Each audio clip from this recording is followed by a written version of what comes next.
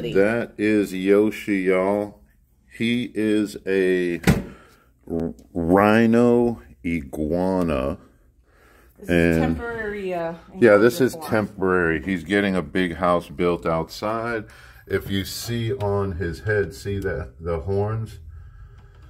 Oh man, I've wanted one of these for a while. Hey Yoshi. Hey. See the horns right there on his head? Oops. See those horns? That's Yoshi, man. This is a rhino iguana. What's on here? Got a little... He's friendly, look. They don't know how to handle these things. That's what it is, look. Look at your little horns. Look at the horns. He said that he likes to be pet, not handled. Yeah. Oh, man, he's awesome. Look at him. That is a rhino iguana.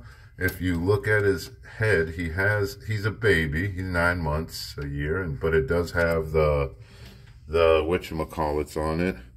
He is, be look at that. He is beautiful. Oh, yeah. All right, Yoshi, you're in your new home just for a minute. You're not going to be in here long. We're having you something built, but oh, look at him. Is that awesome or what? He's pretty chunky. He's real healthy. Got some beautiful colors on him. Yoshi, I see you. Look, he's Yoshi. Oh, yeah. Oh, yeah. Well, stay tuned, y'all. That's the newest member of the family.